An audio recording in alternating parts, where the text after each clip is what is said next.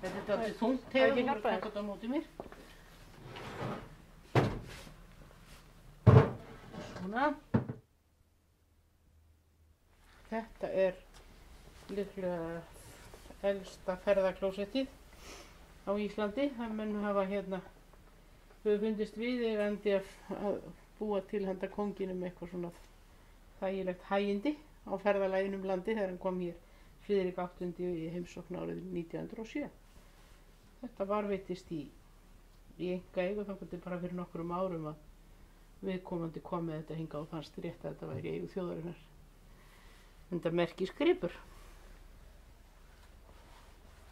Og svo hefur þetta verið útbúið svona, þannig að það sem niður kom, það hefur komið niður í þetta og það svo verið losað.